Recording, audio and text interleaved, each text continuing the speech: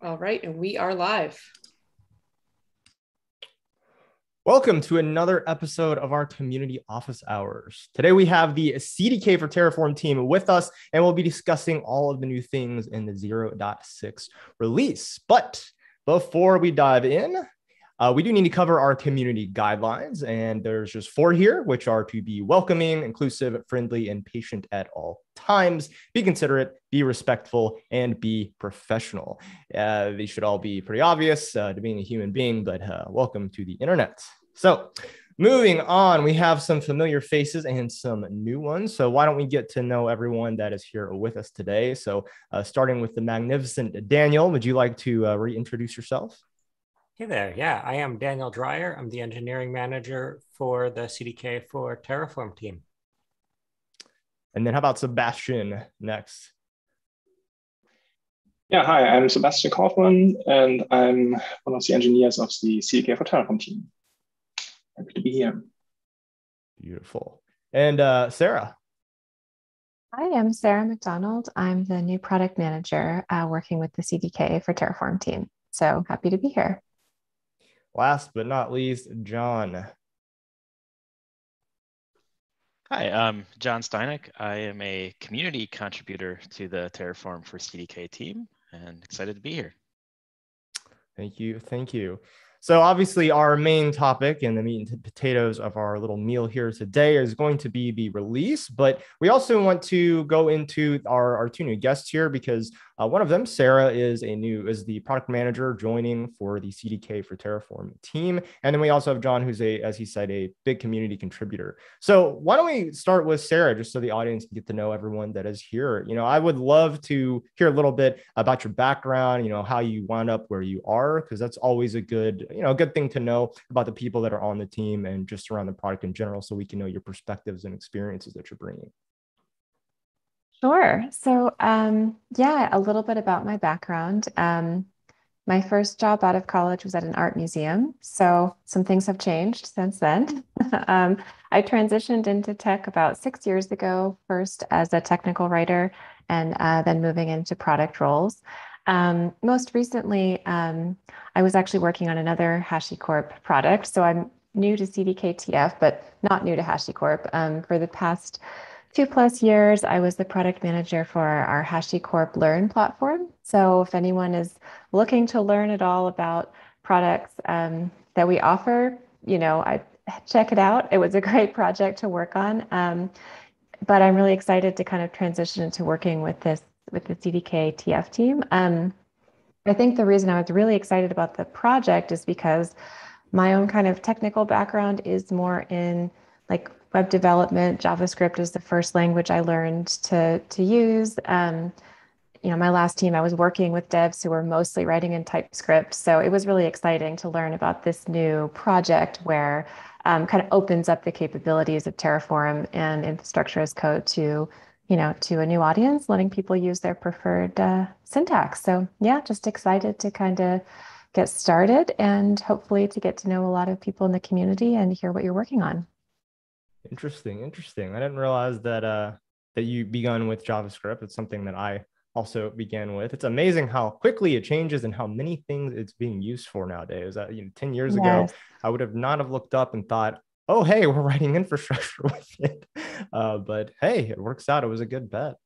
Um, you, you kind of touched on it, but what what prompted your your move? Like, what was the was, was the primary prompt just your familiarity with it and and what they were doing? But what was the big like? Okay, yeah, I'm definitely interested, and I want to move over into product around the the CDK team. Yeah, well, I think um, you know working on the Learn platform was a great way to start at HashiCorp because I really got kind of familiar with all the products because the platform has tutorials for everything from you know Packer, Vagrant, Waypoint, all you know the whole kind of um, suite. And so while I sort of was able to get this general familiarity with the HashiCorp products, you know, I didn't really have the time or space to like go deep with any one of them or really kind of get into working with them um, on, on a deeper level. So I was just excited to kind of find a project where I could more, you know, dive in and kind of get really familiar with um, the code base, the projects, the use cases. And so CDKTF was just such a nice sort of I guess, melding of a lot of my interests. Um, so I'm really excited to to get to join the team, and it's also exciting because it's a project that's had so much community interest and so many people using it in different ways, and I'm just excited to, um, you know, learn learn more about that because I think there's a lot of different use cases and avenues uh, where the project could evolve. So yeah, that was the draw, I guess. nice, nice.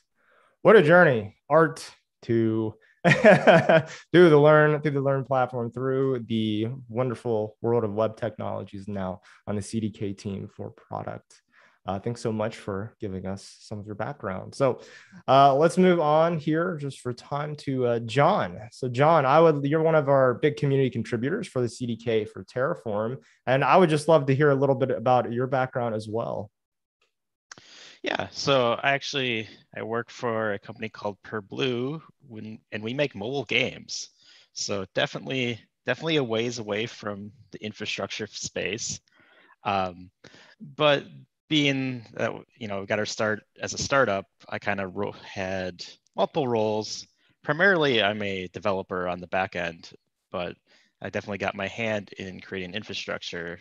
Um, you know, I think at some point, one of my coworkers introduced me to Ansible, and that's kind of where I got my start as coding infrastructure. Before that, it was just kind of you know ad hoc scripts and a lot of manual work. And you know, Ansible was great up until you know we started moving more away from EC2 instances and started getting to like other other types of resources. Um, you know, I was kind of kind of my journey to get here is you know, at that point, you know, I was like, okay, Ansible isn't cutting it anymore.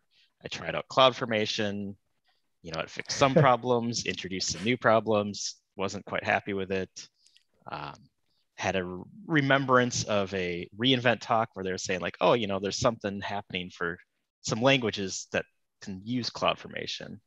Um, I don't think it was CDK at the time, but when I went around to look at it, it was like I came across the AWS CDK, and again, you know, I gave that a try. I was like, hey, this this is kind of the promise that I want. But at the time, it was still pretty early in its life cycle, um, and it had a few rough edges, especially when you're trying to use C sharp. Um, so you know, I kept looking, came to Terraform, and you know, definitely was happy with that. Uh, but kind of always had that itch in the back of my mind of like, what if what if there was something better? What if I could actually use, you know, C sharp to write my infrastructure in? And kind of kind of paused for a while, and then I follow, kept following the AWS CDK, and then one day I see a post from Sebastian in their Gitter channel about a product, you know, project called TerraStack, which which was just kind of like a proof of concept, like, hey, we can use the CDK concepts to do Terraform. Um, did you know bookmarked it came and then a couple months later i came back to it got some free time and it you know it looked like the project was dead. So i was like okay well for this is open source. I will fork it start working on it. And then it was probably two weeks later that i saw the first announcement for terraform cdk um, which was just like okay this is amazing. This is this is what i want. Um, and i you know very quickly reached out and started started working on it. And yeah. Cool cool. So i'm gonna i'm gonna throw you a question that uh, is a recurring question and being one of the big con- community contributors i think it'll it'll spark an interesting discussion. And feel free anyone else daniel sebastian sarah to jump in. When you when you got into this space and you went to provision your infrastructure you know obviously we st- we come to terraform and hcl is you know the main course. What about using a different language is so appealing and so essential to you that that drew you to the cdk um, i think there's there's a couple things one it's you know you know hcl while it's not super hard to learn it's it is yet another thing to learn it's not not what i'm doing most of my day-to-day work in so it's kind of a mind shift that has to take place to this shift over and do that. Uh, I think another another big reason is, you know, I know Terraform has modules, but they never quite felt like what I was looking for. You know, especially when I'm doing most of my work as a developer, like how obviously I'm doing a lot of modularization, structuring code. And like I say, modules just didn't quite line up with that. So the idea of being able to still write the code in the same fashion that I would, you know, write anything else, that that's really appealing. It makes sense. It makes sense. So it fits your existing workflow and the mental models you have for how you're already developing. So it just moves one to one. That sound right? Yeah, yeah. It's like you don't have to. Why, why should writing your infrastructure code be any different than your application code? Makes sense. Sounds like what we've heard before, Daniel, right? Just a little. I think we even have a whole project just for that course, of course. So something else I'd like to, to ask you, Jon, if you wouldn't mind, is around your approach as a community contributor. Uh, for obviously, we anyone who's in the coding space always has that as sort of an ideal or something we want to do in terms of contributing. When you approach the CDK for Terraform, what is your mindset around like, ah, this is something that needs to be done, and I'm going to to to go and do it. Like, how do you identify the issues, and then how do you decide when you're going to put in time to these or not? I'd say there's there's a mixture and it's kind of evolved as I've been working on the project. Um, I think early on it was very much a I see the potential of this project, but it really can't do what I need it to do yet. So what can I do to like most quickly get it to that point where like, hey, this this has enough features where I would actually start to use it. Hmm. Um, you know, over, you know, we kind of hit that critical mass of, okay, now this is still useful. Um, and I think it, it transitioned a lot into like, I'd see, you know, okay, other people are starting to use this, but they're running into problems. And, you know, I really want to, want this to, to work. So I, I would spend the time like, okay, they have a bug. I can fix that. I'll, I'll do that. Uh, so I think there's a lot of that. Uh, you know, there's still some like I'm personally trying to use it for things and finding issues and wanting to get those fixed. Uh, there's a little bit of a I see the release plan they've put together, and it's like I have a little bit of spare time. Maybe I can help them with something that they want to get done for the release.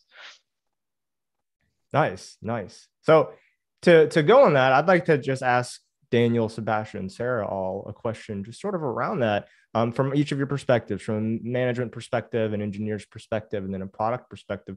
When it comes to community contributors with the CDK for Terraform, what is what is all of your all's approach to to encouraging that, and also you know bringing those things in, and uh, how how do you guys see that in terms of making what it is that you do better? Let me start with Daniel.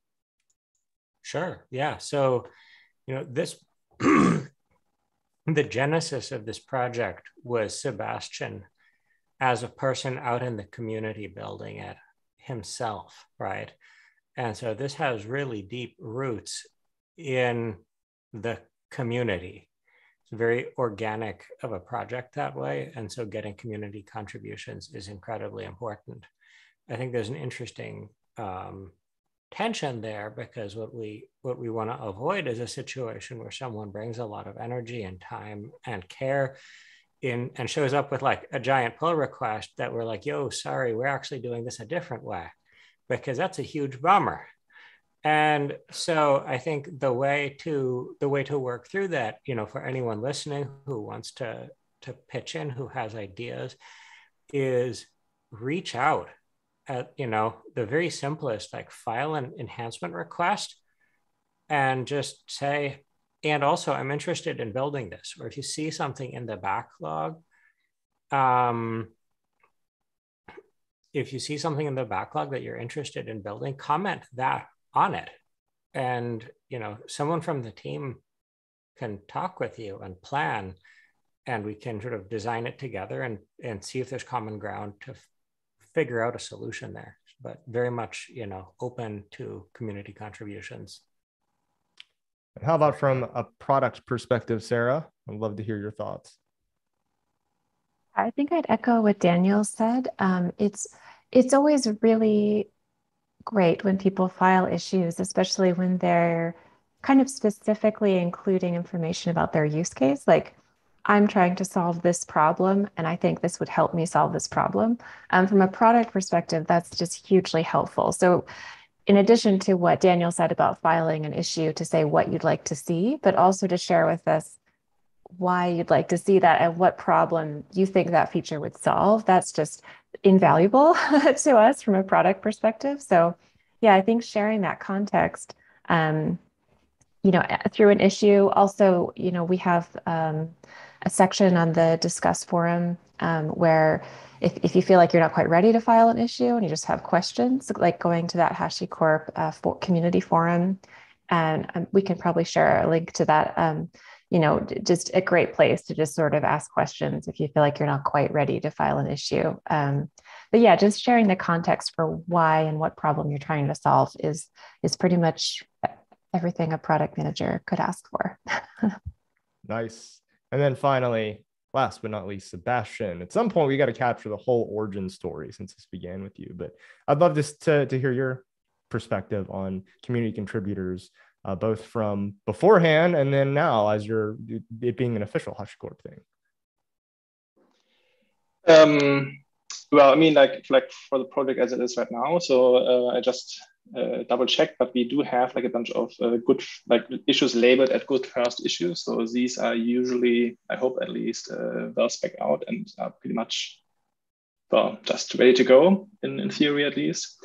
Uh, but other than that, like I mean, contributing is not necessarily only code in the end, right? So like even uh, I don't know, just a bug report or like even like docs or stuff like this, right? So that's that all helps. Uh, bug reports, uh, the more context, the better, of course. But even if it's just like a quick I don't have time, but this doesn't work uh, for this, this reason. Uh, that's also quite quite helpful since I think uh, most of the time people will just go over it and ignore it and say, okay, that doesn't work. Uh, but contributing this back uh, is immensely helpful. Um, and yeah, and then like from our point of view, I think it's uh, well, we have to get like a bit faster perhaps here and there uh, with providing feedback. Um, so that uh, like depends on the volume of issues, uh, of course. So it's like a bit going up and down uh, depending on on the life cycle of, of the product release thing. Um, but yeah, so uh, essentially staying in touch, and I think that's uh, what Jon and I did in particular in the early days. so like you know talking with this quite frequently, and um, you know we're trying to get this off the ground somehow together. So this was, yeah, quite good times. Nice, nice. Well, thanks for all the uh, perspective around community there. I know that's a that's always a question with these products that are open source, especially this one that began fully, fully. Obviously, it still is, um, but just for people that are interested in contributing, it's always good to give them the overarching view from all of our different perspectives. So, moving on into our next bit, unless anyone had uh, anything else on that. No? All right. Well, uh, we're going to move on to the main uh, portion of our episode today, and that's going to be the new features of the 0.6 release. And the first one is going to be a major story, a story about testing. Uh, Daniel, would you like to tell us about it? Uh, and then I believe we have a demo uh, from Sebastian. Yeah, I am super stoked. So, the whole point of this, like Jon was saying, is to have an infrastructure as code experience that is, you know, as as similar as possible to writing normal software. And it sort of we all know that when you write software, you you have to test it. It's a very painful experience if you write. I've written software without testing it, and I end up very sad every time I've I've sort of like taken that shortcut, I've ended up extremely sad. And the the challenge with writing tests is it can be an enormous amount of work. And so what I'm I'm really excited about is the particular approach to testing here, which is snapshot testing using Jest. So um, this is you know, Jest is, I, I think Sebastian, is it fair to say probably the, the most popular web testing, uh, front end testing tool, one of the most popular. In the, in the JavaScript ecosystem, yes, I would probably say so. Yeah. Um, so, you know, widespread familiarity there, but usually people use it to test a front end and so it's interesting to use it for this. So the, the, the point of this is you, you use Jest to generate a snapshot. That means to generate the you know, Terraform config that CDK for Terraform generates under certain circumstances. And then you rerun your tests after you've made a change, you refactor something, you expect it to make no changes, and you run your tests via Jest, it synthesizes it out. There should be no changes. There's no resources created, there's no resources destroyed, it's just the same. And what's slick about it is you get very comprehensive coverage because all the logic is tested through a few cases. And you can see, you know, I created one more, I don't know, one more EC2 instance than I meant to. I destroyed, uh, I created one fewer than I, I'm no longer creating my S3 buckets. You see that right away, and you don't have to wait for a Terraform plan, apply anything to run. It's very, very quick. And then if you want, if you know, there's some part of your code base that's changing more frequently and you you don't want, Jest actually gives you really good tool tooling for watching that and like live updating your snapshot as you code.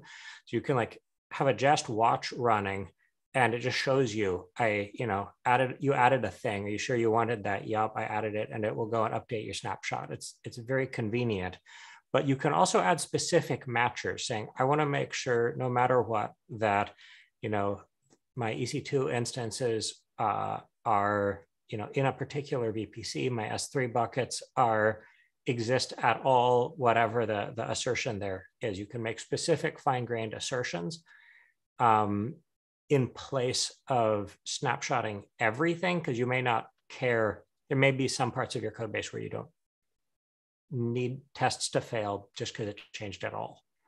Um, so yeah, I'll hand that over to Sebastian for a demo, but I'm I'm super stoked. I think this is a huge step forward for the sort of vision of the project as you know writing infrastructure as code with the same power and tooling like you would write anything else.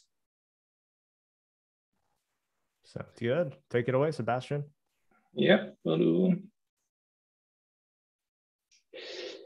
So, um, is the font size okay?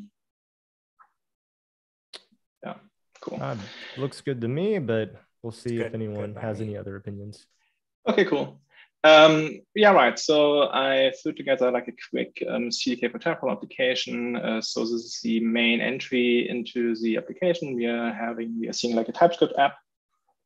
Um, and yeah, so it's just a like a Terraform stack class, which equals like a Terraform workspace in the end. So like a Terraform state in the end. So that's like the terminology for we're doing here. And um, so what I want to show today is like this little construct. So in the CDK terminology, like a construct uh, is like a something along the lines of a Terraform module. Um, with the difference that it's not namespaced uh, when it's rendered out to the Terraform workspace, right? So it's like uh, like inline when you look at it from a state uh, point of view. Anyway, um, so what is this? So this is like an AWS role for um, GitHub action runners. So probably some of you might have seen it yesterday. There was a tweet going around on Twitter um, which allows to use an OpenID Connect provider in AWS to actually uh, authenticate your GitHub action to AWS without using using long-lived credentials, um, which is quite quite nice if you want to use this to interact with AWS. And this is essentially like a like a really small thing, uh, like a small role in the end. Um, but it has like a bunch of configuration, which might make you know it's like very specific. So there's like this uh, thumbprint, which is essentially the fingerprint of the SSL certificate of the GitHub Action Runner. Um, so you have to get this. It's described here in this thing, and this has to be exactly like this. Um, there's also the um, condition uh, for the AWS role, which needs to be in a certain layout. So you have to like a few moving moving parts, right? And so you might want to take this construct and distribute it within the organization so that everyone can use it and deploy it um, for, for their account or whatnot. And so essentially you could take this entire construct and share it out as, as an NPM package or like a Piper package or I don't know, uh, uh, whatever whatever you, you want in the end, right? So you could use this as a distribution mechanism. Um, what you're not doing, but I think for, for these cases, it makes a lot of sense to use um, these kind of unit tests and snapshot tests, right? So you, you want to distribute a piece of functionality, they want to make sure that it, that it works on unit level, and then other people can use it. Um, so that's the that's the code. So we we're dealing with two resources here, and then the layout is like in the, in the product itself is uh, pretty much up to the user. So, but I decided to to inline my tests right next to the resource. So I have this uh, construct placed in the components AWS role folder, uh, place it into the index.ts file, and then right next to it, we have like a little test file here. Um, and from here, we are actually using, or we are referencing the class or the construct we, we just saw. And well, we're stuffing it into our testing testing files in our matchers here. So there are like a few, so few matchers which we are using to match a snapshot itself. That's um, um, that's just just functionality and um, which takes essentially the output. So when you run this testing synth scope, um, it's actually taking the construct, initializing it, and it's synthesizing it out to Terraform compatible JSON. So that's a format which you use also when you when you do a CDKTF deploy or a CDKTF diff. That's essentially what we are going to use uh, for Terraform deployments, it's like the artifact. Um, and that's what is being simulated here, essentially. Um, and if you have never seen uh, Jest, so it, in this case, it creates an, a dedicated snapshot file. We are just uh, placing, placing the output which, which comes back from this thing. And yeah, here you can see this is a JSON structure. And the neat thing is now what you can do, you run yarn test uh, in your project root directory. It's gonna run, uh, it's collecting all the different test files based on a, a regular expression, which is matching this test.ts in this case. And then it's, it's doing this. Okay, so far so good. And so now let's see and perhaps change a bit somewhere. I don't know, perhaps someone makes a typo and gets rid of this here then we might see an arrow in the diff. I would expect at least. Dun, dun, dun, uh, there we go. So I hope you can see it. Um, so since it's like, well, like uh, just inline JSON more or less, it's like a bit difficult to read. But you can see the changes are highlighted here. So the green part is the expected part. So we see the column here. Uh, and here it got removed, right? So it's like even if the JSON itself is pretty, well, uh, complex and you can't really understand it at the first glance, uh, it's still easy to spot what actually changed. Um, so let's reverse this. And yeah, and then we have like um, also custom matchers where we can expect, okay, that like the, the construct class here contains any, any kind of uh, IAM role or like any, any construct generated by an IAM role class, uh, which might make sense if you like have like conditional role creation parts based on logic, based on input logic, perhaps. Um, and there's also like the same, but with actual matching of attributes of this thing. Um, so again, if you change this here, I think you'll see an error. And yeah, and I think what what's also there in theory, which I haven't done here so far, but let's see, perhaps, I don't know, this just works. Um, something diff, I think positive deploy plan to plan. Um, oops. so, and I believe, so I haven't tried this before. Um, so here we see, okay, this uh, this IAM role matcher didn't work out since uh, well the name is is not working. Uh, let's make this working again, and then see if we can actually plan this. I probably doubt it since it's not wrapped in a stack, since we are just dealing with a with an individual construct which uh, is not part of any stack and um, there's no provider or anything. So it's like just the raw logic of, of this part of the infrastructure. So it's probably, yeah, okay, no. It's, that's, well, I haven't tried this before. I should, I should have tried it. Uh, but anyway, like I think if you if you wrap this in a, in a, in a stack, depending on how much time you have, I can try this. Um, or I can read the doku perhaps. Let's read the doku.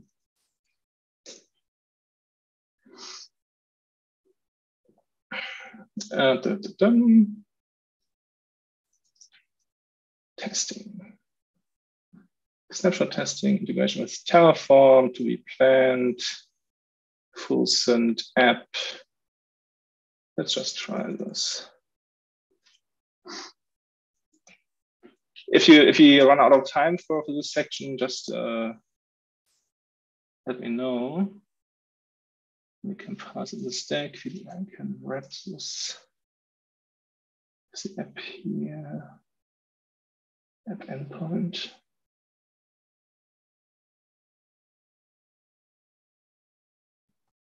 Dude, All right, I see. realistic way. All right, I see. I think I actually have to create a class here in nine. So it's like uh, it's missing the um, the abstraction which we using in to synth this product uh, this uh, this construct here. But I think we should be able to make it work anyway. And yeah, by the way, we're using here a preview provider. So like another way to to get the um, the, the provider is like the, the preview provider would just use the latest version of CDKTF and uh, the provider itself. If you need a specific version, can actually um, specify this um, uh, in the CDKTF JSON, and then there's a command CDKTF get to get like whatever version you're you're stuck on for whatever reason. Um, oops.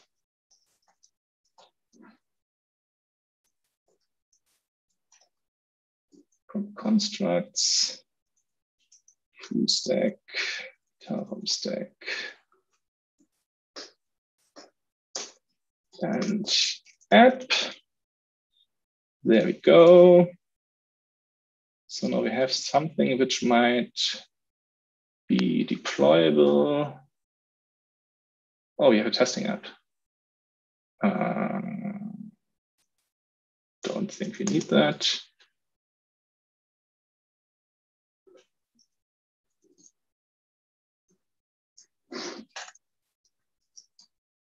While uh, Sebastian uh, works through his code here, I did have a question yeah. from the chat that perhaps uh, Sebastian, Daniel, Sarah, or Jon you can answer, and that is: Is this going to be the preferred way of testing over Terratest, Kitchen Go approaches? I think I can jump on that one. Yeah. So this is very strictly a CDK for Terraform testing tool. And the, the thing to keep in mind here is keep it, remember what we're testing here, which is this is testing the Terraform config that CDK for Terraform generates. So if your logic, if your key logic that you need to test because you're changing it is in CDK for Terraform that is, is if it's implemented in TypeScript or once we add a Python test runner in Python or what have you, then it makes sense to test at this boundary. Testing, you know, HCL Terraform, in principle, you could shim this to run a test against a uh, Terraform module, but it wouldn't get you much because all you'd be testing is that you're using the same module that you already knew you're using. This doesn't uh, this the most this will do is it will run a plan and a validate and confirm that those will actually run successfully. But the the you know where this is useful is testing at that interface boundary because the CD the the Terraform configs that CDK for Terraform generates are usually uh, almost purely declarative unless you're doing something really weird. And code that's 100% declarative, you don't really generally need to test because your test logic is basically a snapshot. It's when you have conditional logic that testing becomes really interesting, right? And so um, there are other tools for testing HCL Terraform that this isn't trying to compete with, uh, but this is sort of the only game in town for testing CDK for Terraform. Uh, I can't get it to work for some reason. Uh, probably I'm doing something wrong. Um, uh, I'll figure it out later. That's okay. yeah. So uh, I think the, the point of how it how it works is clear. Um, yeah. And then you can the other sort of test matchers there that you can do. You can run uh, expect it to validate to plan successfully, which just runs Terraform plan and sees if it runs without errors. And then there's to be valid Terraform, which runs a Terraform validate.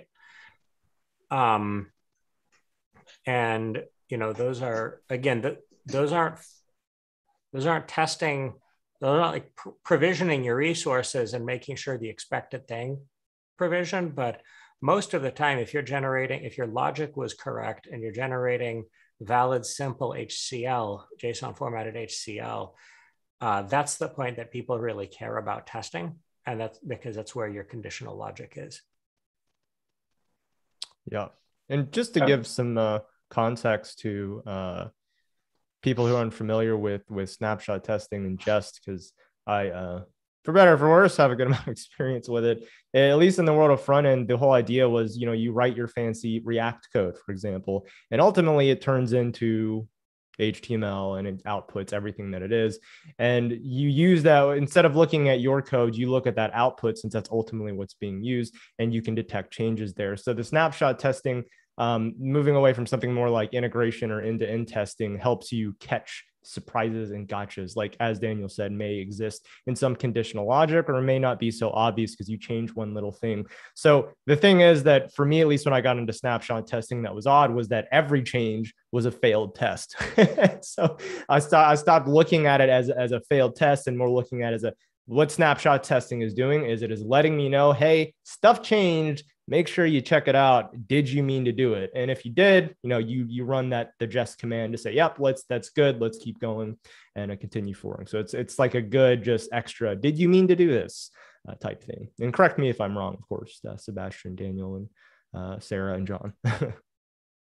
yeah, that's exactly right, and that's a really good call out because it is it is sort of a different approach to testing people uh, who aren't familiar with that think unit testing. This isn't exactly, we're calling it unit testing because it's a familiar term, but snapshot testing really is its its own testing idiom. And for folks getting into this who haven't done that before, it's definitely worth looking up how to think about snapshot testing in general. Because it's it's really, really cool. It's very efficient to get a lot of test coverage, but it's a different way to think. So that's a that's a really, really good call out. Yeah, and just to add to that, the the origins of snapshot testing were because the engineers prior to having it there were spending too much time testing. and so it is when we say it's not quite unit testing, it's because it's supposed to be faster. It's supposed to be a lot faster. You get a snapshot. Well, so I I want to jump in here because I I saw the same story play out before I was at at HashiCorp. I was at Puppet and we had the exact same stories, right? And Puppet had great. You could write RSpec tests for Puppet code, but over years and years and years, it was like maybe 1% of the community ended up actually doing it because it's an enormous amount of work to write really good tests. And for a declarative language, you end up duplicating your whole, what do you do? Write everything twice, once in RSpec and once in your original language? Like it's a huge amount of work. And so what I really, really like about this approach is you get an enormous amount of leverage out of a relatively small amount of test coverage. One thing I didn't mention is we actually, I got to give a plug here. We actually use snapshot testing in CDK for Terraform internally. And the Mozilla Pocket folks who are going to be in a future community office hours, uh, they started doing snapshot testing using Jest with CDK for Terraform before we even added this. They were, they, they rolled their own. And so um, in, in a lot of ways, we sort of, you know, we, and then uh, AWS CDK also used snapshot testing via Jest initially. So, um, you know, this is a, a pretty well proven out approach. Indeed. And I would love to get products perspective on it, Sarah, uh, the testing story and what you see around this, your perspective on it, and what it could lead to. Well, so currently, you know, um, this is supported for folks who are using TypeScript and the um, TypeScript projects. So I think that what we definitely want to hear from people who are doing testing is sort of what's working for them and for us to figure out sort of what they need and what should come next. Um, so potentially that means, you know, scoping out what is this kind of unit testing equivalent look like for Python? What does it look like for people working in other languages? Um, and then I think there's a kind of bigger story to explore about, um, you know, do we kind of in, integrate with other sort of testing methods for more like integration testing? Sort of i think that's still very to be defined kind of like how the testing story evolves. But yeah i think shorter term is more just seeing how this works for people with typescript and thinking about how to provide the functionality for other other languages. Interesting. More testing for more people like it and then and then jon from a community perspective is this like did you see this coming or were, were you like yeah i've known about this and what do you think of it?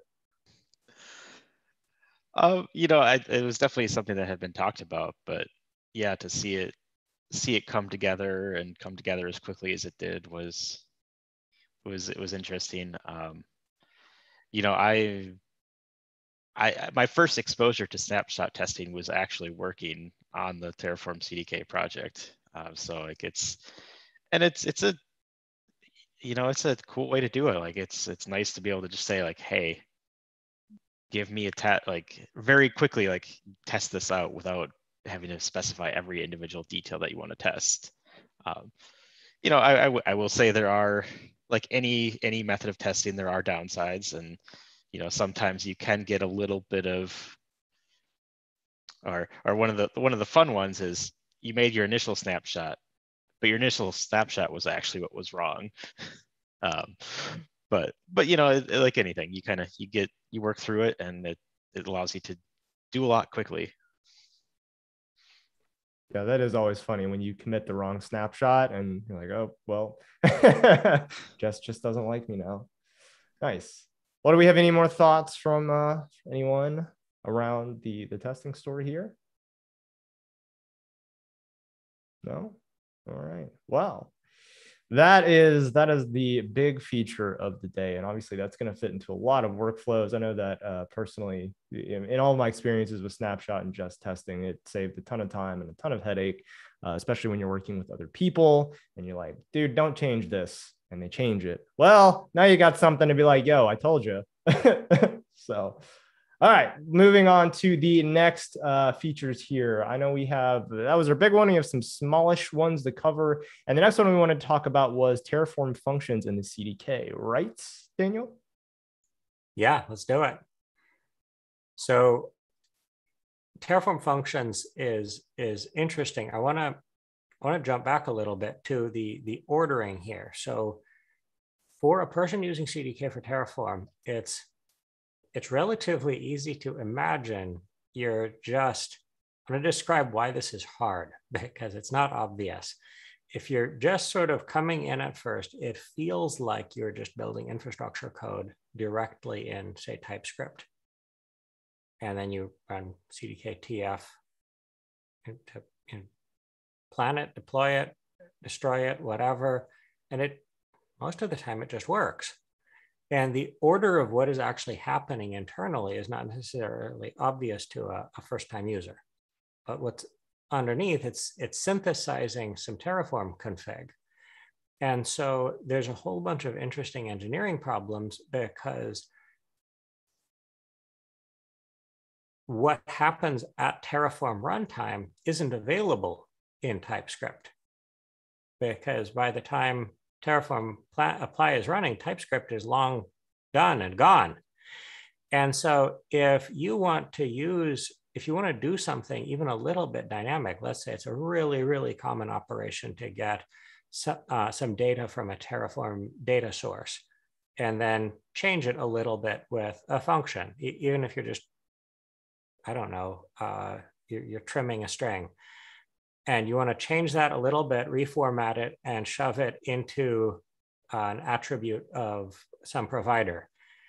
That's all well and good, but so far in CDK for Terraform, there hasn't been an idiomatic way to use Terraform functions to do that. You've had to use the escape hatch, which means that you have to change uh, the, the generated Terraform config afterward, which requires users to make exactly that kind of mental model shift that Jon was seeking to avoid, uh, where you're not sort of in that headspace of I'm just writing TypeScript, I'm just writing Python. Uh, you actually have to think about how it works, to monkey patch that with the escape hatch. And that's, it works, it has worked, people do it, but we've known you can do better. Uh, and this release adds a more native representation of Terraform functions. Sebastian, eh, you want to you want to show what that looks like? Any more to say about it that I missed?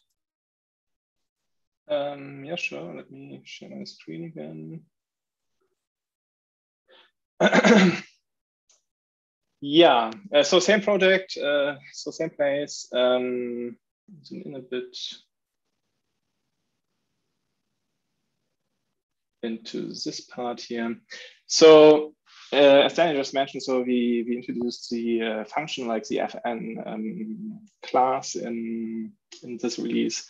This essentially wraps, um, I think, all the native functions of Terraform um, in a composable way. You still have to know, of course, or like to be aware at least, that this is not running at um, so this is not running at compile time. So like when, when actually the TypeScript is compiled or even executed, uh, this is running or like whatever you get back here is is gonna run um, at deploy time or like at Terraform in-flight time, however you would call it. Um, so how, how this in the end looks is, so when I would use it, more importantly, is whenever you can't so whenever you have something which is available as a, as a data source, so like as some computed value which you don't know ahead of time, uh, and you have to to deal with this to some extent, right? Um, and as you can see here, so it's uh, quite a nice experience. You can just uh, like search what you want, uh, get the link to the documentation. Um, and there's also some inline documentation, so it's quite quite nice since you don't have to look it up all the time. Um, and yeah, you can compose it and, and do stuff with it, but you can't, ex- or like, don't expect that this is like the same, you know, like doing like a lowercase key uh, will just give you a reference to the function in the end in Terraform. And they show you what I mean uh, using the testing thing again. Um, no, let's just do it that way. So you can compose the functions together so you can wrap it into, into each other um, and then you run the test now. It has to compile, of course, and it has to run the test. Um, and you will see that it's in our little diff here. So we lost the, uh, the lower part. Um, and yeah, in the end, so this will be evaluated by Terraform in the end. Uh, in this case, now we will have, where is it? I think it's hidden behind the windows here. I'm a bit lost, perhaps my screen is too big. Anyway, I thought I might see it. Anyway, I definitely see that we lost the lower function here. Um, and so it's only upper. So in the end, the result would be uh, Terraform would, would make the string like an uppercase string um, at runtime of Terraform. Um, and I think what's, yeah, that's essentially covering all the functions. So you don't have to use escape hatch anymore, um, which Daniel was saying is like this uh, override, right? So that was behavior before. You have to somehow do this, you know, manually and uh, type something here and actually know what what's happening. So from that point of view, it's quite quite improvement. And back to cool. Nice. Nice, nice. Yeah, that your your example of what it looks like otherwise uh, looks far less pleasant than the newer the newer way. Uh, so this is this is a nice improvement. Um, Daniel, do you have any more to elaborate on that? I mean, it's a simple, it's a pretty yeah. straightforward improvement. I think it sort of Sebastian covered it. Indeed, indeed, and uh, from a product or community standpoint or community contribution standpoint, Sarah and Jon, did you have any any thoughts on on Sebastian's demo? No? Okay. I just in general, right? It's really great to see the product evolving a, more and more away from having to use that like escape hatch sort of um, workflow. So it's just great to see, you know, more more steps towards that.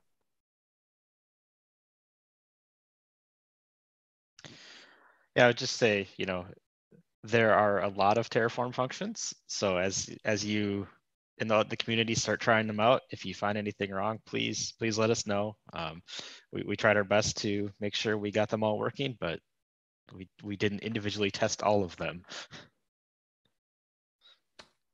Nice, nice. Well, speaking uh not speaking of, but moving on with our our smaller our smaller uh, follow-up acts to the testing feature. I know that we had uh, bash and zsh completion added as well, Daniel. Yeah, not much to tee up there. Uh, having shell completions is awesome. Sebastian?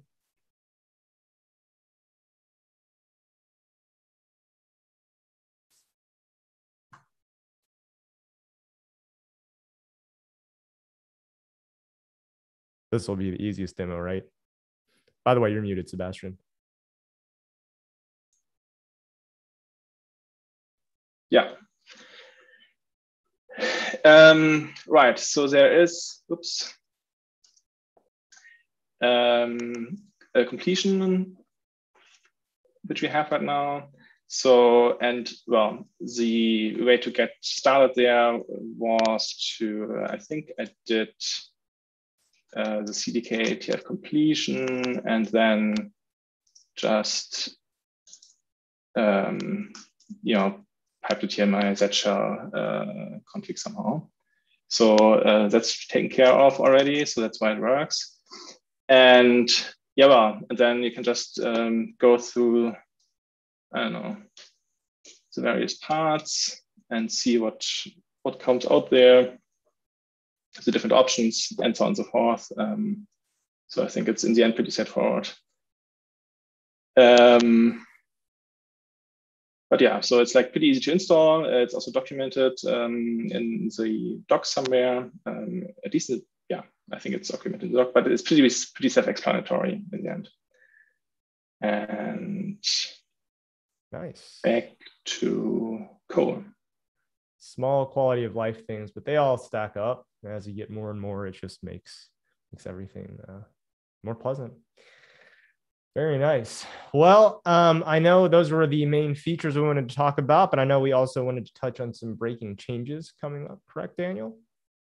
That's right. Yeah. And I, I think the, the main call out there is uh, in this one, more than a lot of other ones, you should really take a look at the upgrade guide. Uh, we had to upgrade the constructs library. And so there's, uh, you know, there's a, a need to upgrade that in your project.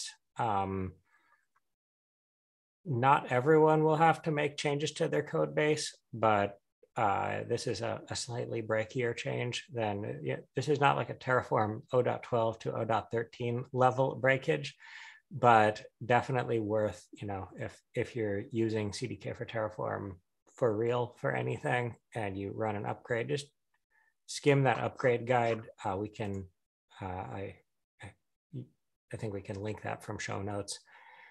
And yeah, just skim over that and it, it should be pretty straightforward to upgrade. It's pretty self-explanatory. Just wanted to make sure people caught that. Uh, those would be good to know. So make sure you take take a look uh, through those so you're not blindsided by anything. So moving on from the uh, the not fun stuff, that being breaking changes, to the future. So what is in the future for the next couple of releases? Talking this morning, Daniel, you said you that um, your team had already gone ahead and planned out a few of the releases. What can we tell the audience today about what's coming up? So O.7 is uh, sort of tentatively planned. Uh, the place to look at that, if folks are interested in, is to look at our milestones in GitHub. Uh, we're pretty careful about if you take a look right now, you can see it says O.7 is in planning, not committed. Uh, by mid next week, I'm expecting that caveat to get removed. Um, the way to know what is going in for sure versus what is a stretch goal is that we have this committed uh, GitHub label. So the, the things that are labeled committed, we're very confident we'll get in, and the things that aren't, we're going to do if we can, and they might not make it, just so that people know how to read our uh, read our project. The big the the big improvement that you should expect to see in O.7 is a bunch of improvements around the token system. Um, so take a look. There's a long punch down list of sort of language pain points.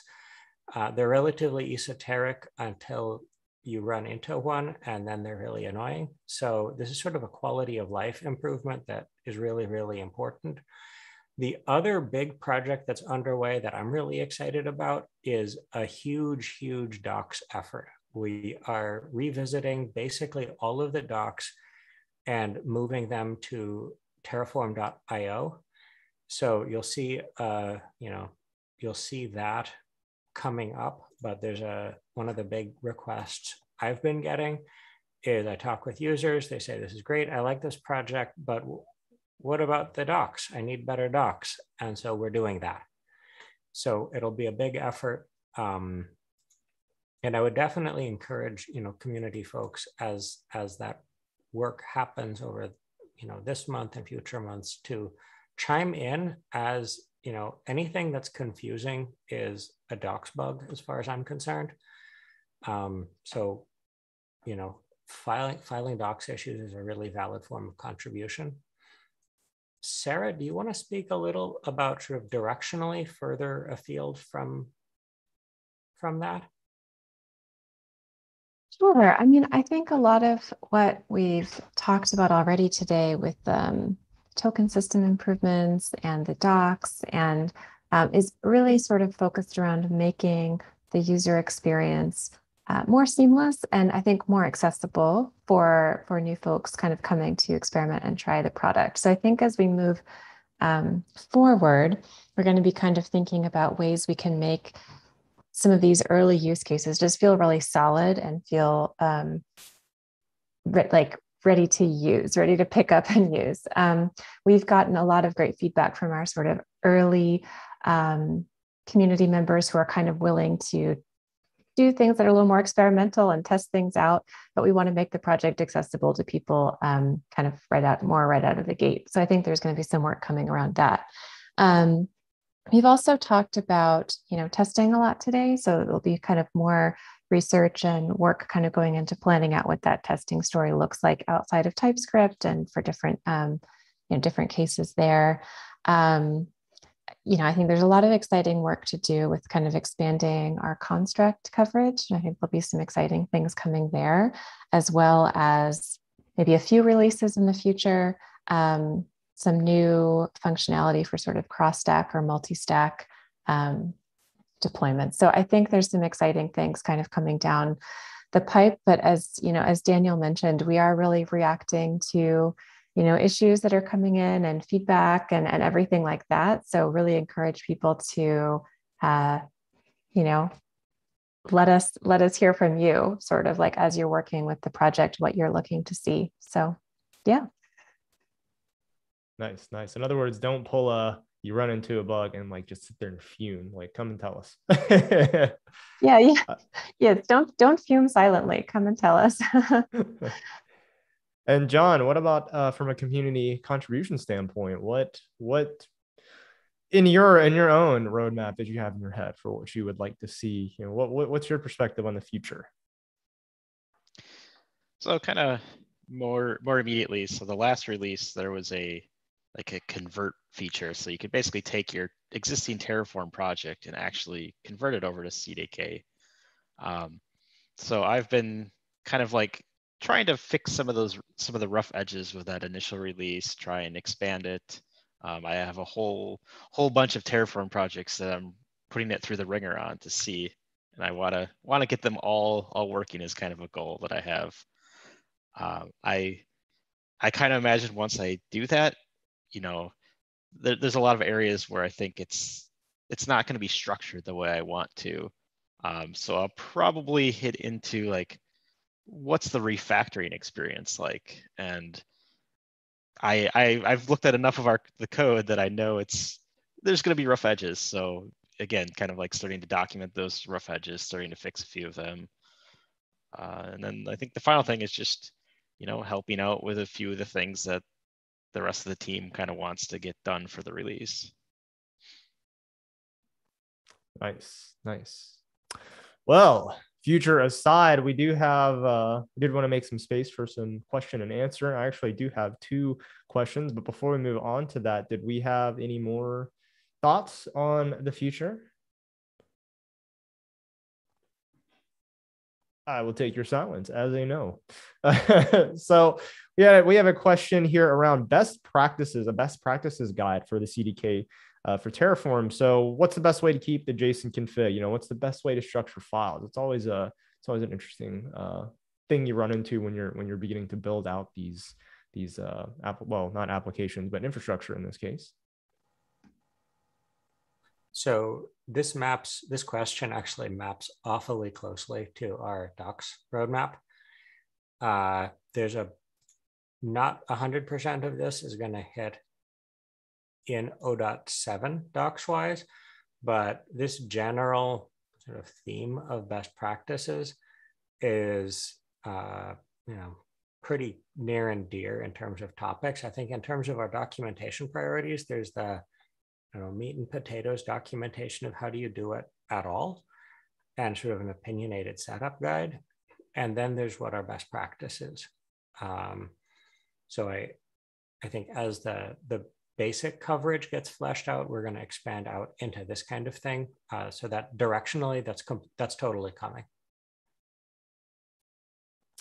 Yeah, the follow up comment on that was just they're seeing less open source samples uh, of the CDK for Terraform and just that desire for more examples and documentation, uh, just because of the amount of time it, it, it takes to go through and, and translate. And I know that in the previous release with the uh, convert command, that, that was something that could help but obviously not having to do that to see how something works is always you know just uh, a bit better uh, let's see and then uh, i've got another question here uh, I, I'm, I'm pretty sure I know the answer to it, but I'll field it just in case, uh, just in case the team knows where this will be. And that's uh, in in this version, but in upcoming version, will it be possible to convert uh, a TF file to other programming languages beyond TypeScript?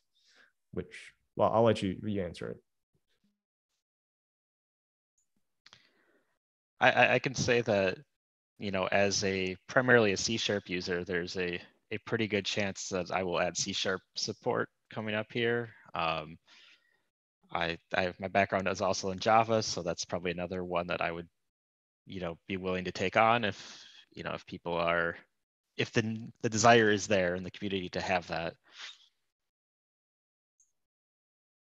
I would just say that this is very much a, you know, the convert command itself already supports other languages except for Go. and so the whole project conversion is very much a function of community interest. So, you know, as folks are interested, please let us know. It, it makes a huge, huge difference in that kind of prioritization. It, it's, you know, definitely something that's interesting, but we have a, a huge backlog of interesting issues. And so that would help us prioritize. Nice.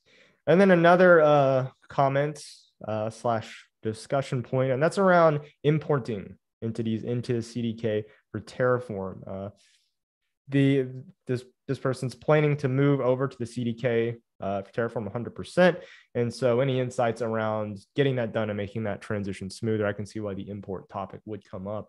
Uh, what are what are your thoughts on on those, Daniel, and and the rest of the team? I, I think that by import, you probably mean uh, doing a state import as well. Uh, that would sort of like convert, you know, what the what my ideal experience there would be would be if I've got a project already, I've got in in HCL, uh, I've got got it deployed, I have some amount of state. I would like to do a conversion there that results in you know, TypeScript, Python, whatever my favorite language is, um, and ideally works with existing state, which is not a guarantee we're able to make right now.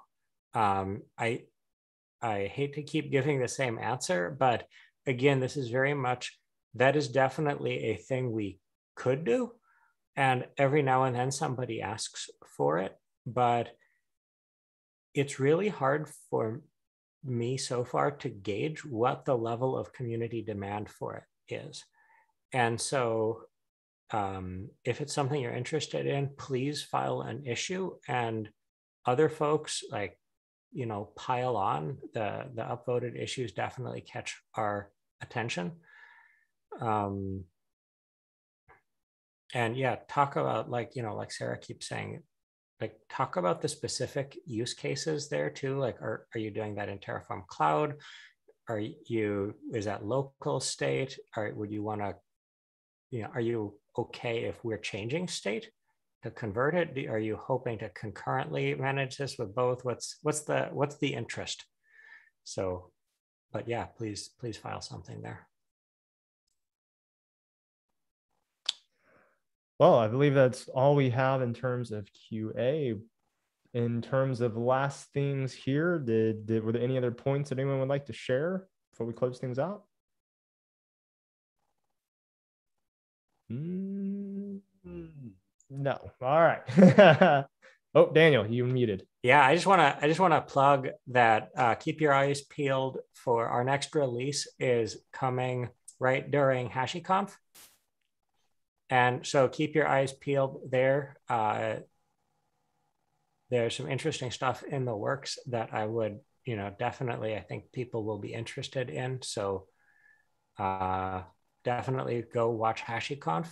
There's also an upcoming community office hours with the Pocket folks, who are some of the earliest, most active uh, production users of CDK for Terraform from Mozilla Pocket. What's really cool about them is they have an open source CDK for Terraform codebase. So they're an absolutely rich source of sort of examples, usage patterns for folks who asked about best practices. Um, you know, going and looking at the Mozilla Pocket CDK codebase and doing everything exactly the same as them, uh, it's hard to go wrong. So uh, yeah, stay tuned to learn more about what they are, what they're doing. They're going to walk us through some of how they work. For sure. Uh, I do see a comment from Jordan that uh, in the chat that's a it's a bit more generalized to Terraform in general in in general, and it's just around managing resources efficiently. And so the the example is uh, using Terraform to destroy instances if they're if they're not being used.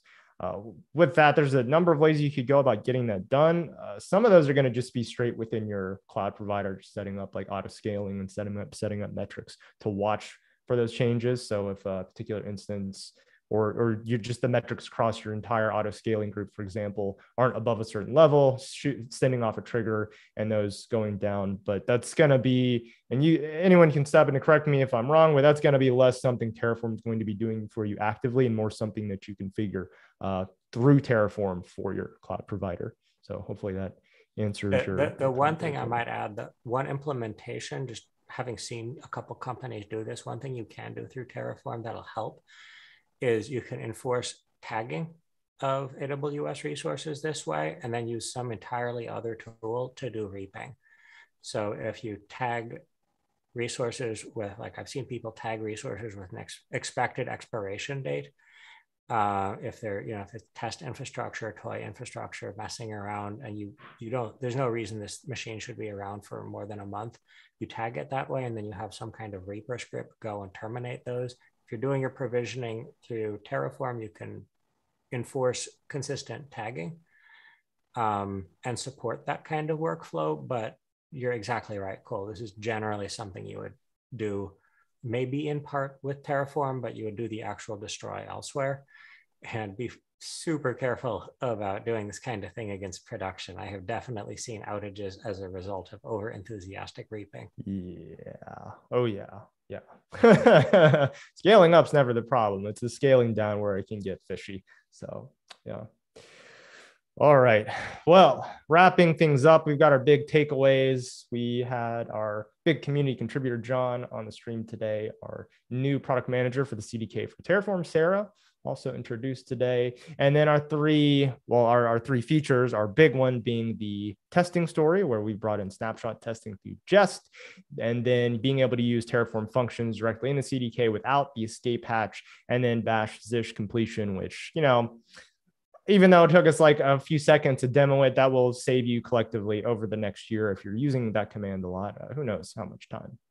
And uh, last things I'd say is that if you want to get started with the CDK uh, or get involved, we do have a number of learn guides on our Learn HashiCorp platform that can get you into it. Uh, if you're looking for best practices and things and such, obviously those are coming through documentation as we've stated, but we do have the Mozilla Pocket as a very good source of information since they use it in production and their uh, all of their code is open source. Uh, if you want to get involved in open source and you want to see new features, the best way is to go to the GitHub repo, file an issue, explain your use case, give us specifics, and that it will absolutely look at it. And that is the I would say probably the, the best way to get it on the roadmap and get it visibility. And if you have any other success or failure stories, uh, at least as of last time, Daniel Dreier would love to hear about those uh, since he is uh, yes, the, the, the sounding board for all of those things. So that wraps up we've got today for community office hours. Thank you, Sarah, Jon, Daniel, and Sebastian for joining us. And uh, thank you for watching. Cool. Thank you so much. This has been really Thank good. you. Thank you.